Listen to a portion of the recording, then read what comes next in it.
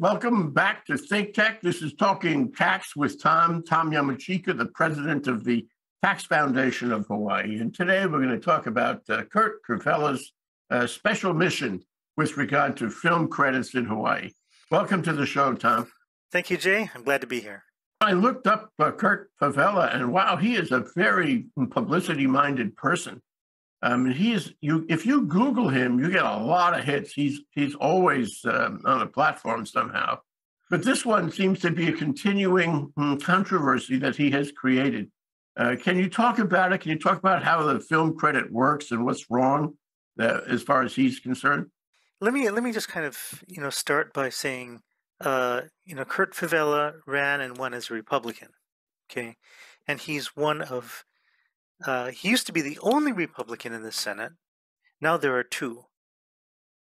Uh, him and Senator Awa, which, interestingly enough, means that uh, because of you know the uh, policy that there be uh, bipartisanship on every uh, every committee in the legislature, he's on pretty much all of the committees, including uh, importantly for us here at Talking Tax, the Senate Ways and Means Committee. Hmm. Um, isn't that uh, Donovan Dela Cruz's committee? Yeah, yeah. Uh, Senator Dela Cruz chairs the committee, but uh, uh, Fevella does have a seat on it. He apparently uh, has been persuaded by uh, the Teamsters that there are problems with the uh, the Hawaii Movie and TV Production Tax Credit. By way of background, we've had the the movie and TV production tax credit in place for a long time since I believe 1988. You know, it was in some years more, some years less, but the basic idea is uh, that when movie and TV productions come here, uh, they're allowed a tax credit based on what they spend uh, here uh, well, not necessarily here, but it has to be subject to our local tax, uh, either general excise tax, use tax, or income tax. The Teamsters believe that's not enough, and they kind of made a show of it this you know this past session. We we talked earlier about uh, what happened with the um, uh, with the, with the film credit bill, uh, with uh, the Senate Ways and Means Committee, uh, grabbing something relatively unrelated, uh, shoving a bunch of these changes that uh, the Teamsters wanted into the bill. And when the House didn't hear it, uh, they took one of the House bills and they basically shoved all those provisions in that one, you know, much to the consternation of the House committee. What did it provide? Well, for, for one thing, the, the bill provided differential tax credit rates depending on who's uh, whether you have local payroll or out of state payroll. Hmm, let me stop you there and say, gee, that sounds like a violation of the United States Constitution Commerce Clause. Yeah, it probably is. I mean, I thought so. Uh, the Deputy Attorney General thought so. Um, but did that uh, mollify the Ways and Means Committee? I don't think so. But let's go back to uh, Fevella's film feud. So it's it's now after the adjournment of the legislature. On May 31st, there was a press conference held at the Capitol regarding that that uh, movie and TV production tax credit, and two of the main speakers were uh, a gentleman from the Teamsters, a gentleman named Kevin Holu, and Senator Fevella. Now, Mr. Holu's basic point was that there weren't enough local Teamster members working the productions. So they wanted, uh, and, it, and it's no secret we've been just talking about this. They have, you know, tested. They, they testified in favor of the uh, the predecessor to the, um, uh, you know, the bills that we're, we were just talking about, urging them to amend the legislation by adding in safeguards to ensure that productions are engaging with local unions and hiring Hawaii resident and, and utilizing Hawaii-based businesses for goods and services. Safeguards sounds like a euphemism to me. Yeah, it, it actually is mandates. It's not safeguards; it's mandates. Hmm. That's what they. That's what they put. They wanted to put in. That's what they did put in. And and of course, at that um, press conference, Senator Fevella got up to speak, and he had his own uh, views about how the state's administering the credit. This is Hawaii, he said. People are standing in line to film here. But when you get one person making the decisions, that's the discouragement. That's the guys discouraging people to come here. So, what did he mean by that? Who's the one person and what are the decisions? Isn't it just simply in the law? Uh, his beef was with uh, Donne Dawson, the head of the Hawaii Film Office. She has been the head of the Hawaii Film Office for hmm, like 20, 25 years. Yeah. But to emphasize the point, he filed a formal personnel complaint against uh, Ms. Dawson, and that's kind of working its way through the Department of Department of Business and Economic Development right now. Saying what? Saying that um, uh, Ms. Dawson misled legislators uh, by describing what the bill would do. Hmm, that's interesting. Yeah, I mean, uh, uh, d- during the, the you know the time that the um, when when the bill was out, uh, the MPAA, among others, uh, had some complaints about the bill. We did too. You know, we had some concerns about constitutionality over the Commerce Clause, as you just mentioned. Basically, you know what the Commerce Clause says is that we in the U.S. are supposed to be one big happy family. So you have, you know, one state, another state. We're all we're all in this together. We're in, you know, we're we're paddling the same canoe. We're all one ohana. So uh, one state shouldn't be discriminated against commerce coming from another state. But that's exactly what the bill did. Mm-hmm. And it was very explicit about it. So. Is that what uh, Donne Dawson uh, was charged with of testifying that it violated the Commerce Clause? Uh, no, I think she made some other points that, that were kind of consistent with what the MPAA was saying. I believe in, in Civil Beat's coverage, uh, they did have, you know, a copy of the handout that uh, Ms. Dawson gave Senator Fevella and others, uh, just just as an explainer to what the you know what the industry position was. Now, let me let me boil this down just as far as our conversation concerned up to this point. This controversy um, is about um, requiring local local union labor in violation of the Commerce Clause of the United States Constitution. And so one side of the controversy is, yeah, we should have local union labor in violation of the clause. And the other side is we shouldn't because it violates the clause and I suppose other um, industry considerations. Is that the, is that the controversy? Well, there's two parts to it. One of them is that part, right? And of course, Senator Fevella's, Fevella's um, rejoinder is uh, that working with mainland companies managing studios and productions in Hawaii, you darn right I have a problem. Everything should be local. It's our land. It's our place. It's our people. That's that's basically his argument. I saw him quoted for that in the Civil Beat article. That was extraordinary. That that's what he's saying, but we do have the Commerce Clause, and I, I don't know if, if, if Mr. Fevella recalls this, but when he was first sworn in as a senator, he had to take an oath to support and defend both the Constitution of Hawaii and the Constitution of the United States. Well, the Constitution of Hawaii calls for compliance with the Constitution of the United States. It doesn't really have to, but it does. And, and Article 16, Section 4 of the Hawaii Constitution calls for every lawmaker to take that oath. Mm-hmm.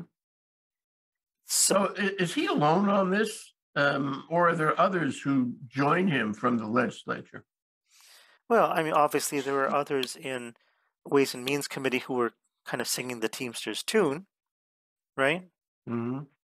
It takes more than one person to you know make, to to do those kind of legislative maneuvers, but but but you have to kind of look at the you know the reality, and, and the reality isn't that people are lining up on the door. I mean, uh, uh, uh lining up to film here. Do you remember Jason Momoa, Hawaii-born actor? Mm-hmm. He made it one of his life projects to film a Hawaiian historical drama. Chief of And- War. Chief of War is what it's called. Mhm. And that series is indeed being shot now in New Zealand. Mm-hmm. Yeah, part of the film was shot in Hawaii and all of the major Hawaiian islands, but as it turns out, a good part of the movie is shot in New Zealand. A number of the principal cast members are New Zealanders, not Hawaiians. Why? It turns out that New Zealand offers international productions a production grant of up to 25% on qualifying New Zealand production expenditures. That's better than a tax credit. I, i apparently it is because, uh, according to the producer of Chief of War, a gentleman named Brian Keaulana, he said, "To survive, we had to go to Aotearoa, which is New Zealand, to survive for this. Uh, but by keeping the tax credit, it would give us the opportunity to keep us guys at home. Let, let's let's hypothetical. Um, suppose this bill passes, okay, and we have more local teamsters staffing these films to the extent there are films here in Hawaii. If And- they are, if the films come here, Well, I'm assuming that. Okay. well, yeah, that's a big assumption now. Yeah, okay. because because if, if you jack up uh, the mandates, if you jack up the you know the price of coming here, what are what are what are the productions going to do? They're going to go to New Zealand, just like Chief of War did. There's many considerations, but let's assume Of course, they are. do. Yeah, They, they they do come here. Let's Mhm. assume, and this is a really big possibility. I mean, a, an encouraging possibility. There's enough talent right here in Hawaii to make films. Okay, except they, you know, they would have to use Teamster help, lots of it, to make their film here in Hawaii. Is that competitive, or would that be? Would that also force local filmmakers to go elsewhere? that's that's another dimension, and that definitely needs needs, needs to be considered. I mean, if you're going to tell uh, you know the big productions uh, that if you're if you're going to film here, you need you know, Hawaii needs to have the whole enchilada. Then uh, either they they go elsewhere, or they come here and kind of suck up all the local resources. In which case, the smaller productions may get starved out. Yeah. That's what I'm thinking. The smaller productions are the ones I would care about most. But I don't think this bill would would help local productions. This bill would, you know, impose uh, a de facto obligation on every production to use Teamster help um, and to have more help. Uh, and and you know the the result is that nobody could make a film economically, and to the extent uh, Hawaii might attract either local or out of state business, uh, it, it would mm, diminish. The other thing is, and I would like to spend a few minutes with you on this, um, it is troubling, is it not, to look from the outside in and see this obvious attempt by Fevella, who is uh, essentially working for the union, manipulate the law um, so as to help the union and uh, position the union to have more union members, more work, more local union members working on films that are made here. This is this is troubling in the sense that um, it doesn't look good from the outside. Uh, from the outside, it looks like um, you know we have a problem in, in incentivizing movie making in Hawaii, and that and the people who um, should be uh, like Donne Dawson, who should be incentivizing, who should be managing um, the efforts of filmmakers to make films in Hawaii, are not really in charge. Um, and and there's a statement here um, about our willingness to accommodate filmmakers of all kinds from Hawaii and elsewhere. When you have the union running things, and you have uh, you know shouting and screaming and lots of newspaper articles uh, about Fevella, and I'm and I'm thinking that if I'm a filmmaker in Los Angeles, I I would say, gee, you know, we've had problems in Hawaii before. We've had problems with tax credits in Hawaii. Um, it's it's not completely predictable. We've had problems with the Teamsters before, if I'm in LA, um, I would say, um, I'm not going to do this. I'm going to go to New Zealand right away. Um, the weather's good in Hawaii, but gee whiz, this environment is really not made for filmmaking. Yeah, no, I mean, there are, uh, you know, we're not an island unto ourselves. We have competition. We have Puerto Rico. We have uh, we have New Zealand. We have other places in um, you know tropical climates. Okay, and and of course there's the green screen, right? Any place, in even in Los Angeles, can be made to look like Hawaii. And there's animation that looks like a green screen. You know, um, the technology is extraordinary now. You know, in, the old days, a green screen would, would have um, visible issues to an audience, but now green screens are so effective, you can't tell the difference. And beyond that, you can make the green screen better and better with animation. And again, you can't tell the difference. So there are so many options that are cheaper, that are open to filmmakers now. The technology really covers it all. And don't forget AI, Tom, because AI can generate scenes and backgrounds and you know all kinds of things that will help a filmmaker create uh, an alternative um, set and scenery. So um, this is really foolish, not only to make an unconstitutional bill and, and push it and shout about it, but also um, to tell the world about our attitudinal problems. Yeah, I, I think it's um, very dangerous to you know, make broad uh, statements about insularism that uh, you know Hawaii is Hawaii and nothing and nothing else matters. Um, it's it's it's kind of like make America great again, but on a smaller scale. Yeah, we have so many issues like this. Um, you know, the the whole affair, the OHA attempt to build a forty-story condominium on uh, Kaka'ako Makai. I saw that um, there are those who would stop the uh, improvement of the Puna geothermal venture. And um, I'm sure that you recognize that the Mauna Kea project with the 30 meter telescope, which would be a tremendous item for prestige for Hawaii, it has been stopped. Uh, against all the findings, all the courts, all the arbitration, it ain't going anywhere right now. And it probably is dead make mort. And, and so, I mean, we have these issues where um, people want to advance, um, how shall I characterize this, local um, partisan issues in order to um, make it hard for people to do business, make projects, make progress.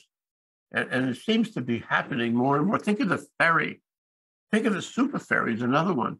These projects all got stuck because of partisan issues like this one. Absolutely. And if we want to make, uh, you know, Hawaii a business-friendly place, if we want to attract capital from outside, which is what these film film projects do, okay, I, I think we have to be accommodating, at least to some degree. I, well, mean, I don't think this is over, Tom. Of course, it's not. Um, this is just a just a symptom, not the not the disease. And it's it's really ultimately damaging uh, to the film industry here which is a great possibility for us. We should be inviting them from hither and yon. We should have films all over the lot. It makes so much money and it, and it sells Hawaii, doesn't it? Yeah, and uh, importantly, it brings in capital from outside of what we now have. I mean, we've right. always uh, complained. I mean, we've we've heard lots of complaints over the years that Hawaii's capital is short. Well, uh, the answer is to, to, get entities or businesses outside of Hawaii to invest in Hawaii, and that and movie production is one of them. And the other kinds of capital, capital that come in for the telescope, capital that uh, come in for um, for the, the super ferry. I could go on. All these are stopped, and the capital doesn't come in, and you start counting them up on your fingers and toes, and it's billions and billions of dollars that have been locked up or rejected. You talk about Donne Dawson and some of the filmmakers coming down and opposing this bill. And of course, uh, you know, the Tax Foundation opposed the bill. But you know, is there an organization that would say, "Wait a minute, this is this is unhinged. It's not legal and it's not good for us." Um, is there an organization, kind of a chamber of commerce organization, that would come down and oppose a bill like this and and tell it like it is? Well, I mean, supposedly that's one function of the uh, MPAA, producers or directors. It's more than tax and it's more than filmmaking. It's inviting offshore capital to come here. Yes, it should be managed. And I Think Tech had a very interesting program about managing offshore capital uh, 10 years ago. And I thought that was really important to understand it from that point of view. Um, we, we, we need somebody to A, uh, advocate for bringing offshore capital here, and B, managing it effectively. Well, I mean, supposedly that's what we, we uh, look to our governor for. You know, we, we, we want our governor there saying, this is the policy of the state. This is what we want to attract. You know, we, we love films and uh, we we uh, totally support the industry's uh, use of Hawaii to to uh, to promote Hawaii. Um, come on down. We'll, we'll make we'll make life comfortable for you. We'll, you know, we'll show you our aloha spirit. We'll show you our hospitality. Right. And, and one of the, one of the side benefits of all of that is that, that our budding filmmakers from the Academy for Creative Media, other places in the university, um, you know, all these filmmaking organizations that are small, they're uh, low capital, small organizations in a way, trying to make films, would um, would rub shoulders um, with the you know more serious, more heavily capitalized uh, producers from the mainland. And, and A, they could learn a lot. They could even just watch, but they could get jobs too. They could learn a lot and, and, um, and make a real industry here. Well, I mean, what happens, you know, is that is that local um, people who want to get a job in filmmaking uh, wind up going to the mainland. I think there should be a countervailing bill here in the next session uh, that would further encourage them, not reject them. And at least we'll have two hands clapping, don't you think? Yeah, I mean, uh, we have a, a, film credit that's, uh, for better or for worse, uh, survived more than 25 years. Why aren't we using it? We should be we should be using. We should be extending the, the sunset date. We should be maybe you know juicing up the percentages a little bit but uh, but let's not do you know stupid things. Well, I would, you know, it's it's a it's a marketplace thing. If we find that um, producers going around us, going to Puerto Rico and uh, and New Zealand and what have you, and, and other places in Asia, I should add. Uh, yeah, yeah that's, that's that's not their fault. No, if the economics just, are there. That's right. So we have to get into the mix and be more competitive. It's that simple.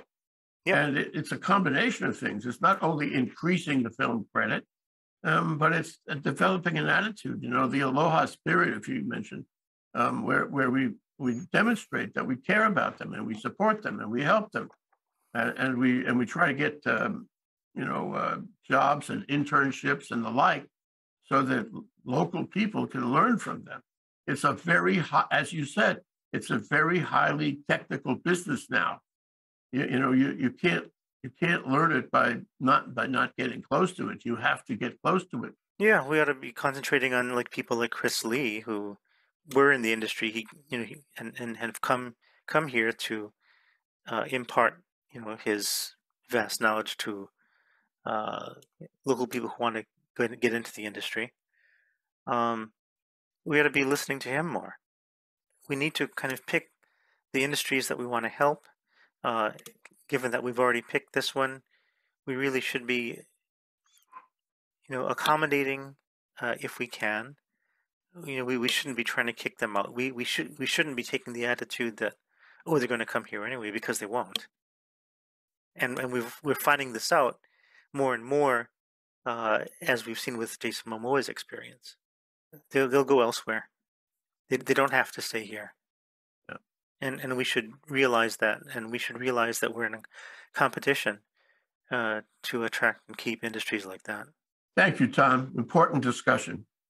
Thank you very much. I, I hope that uh, people get the message on this. Thank you. Aloha.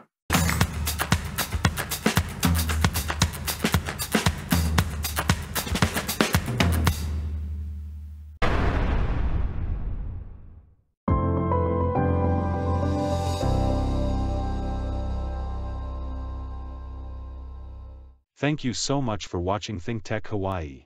If you like what we do, please click the like and subscribe button on YouTube.